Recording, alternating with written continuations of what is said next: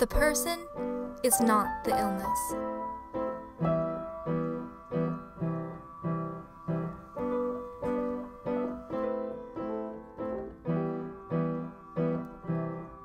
They are more than the challenges they face. I am. Powerful.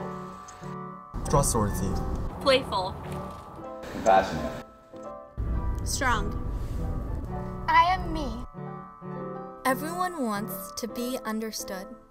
Seek to understand. To learn more about mental illness or to find support, go to www.reachout.com.